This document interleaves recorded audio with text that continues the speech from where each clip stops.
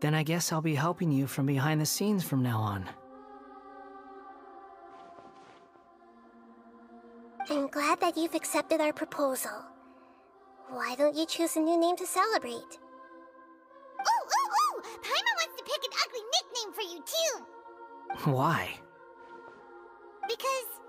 Because... Paimon still doesn't like you that much!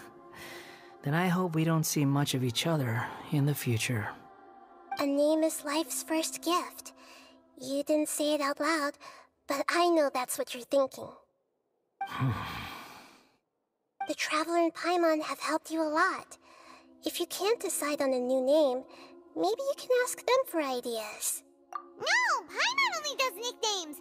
If it's a serious name you're after, it's all yours.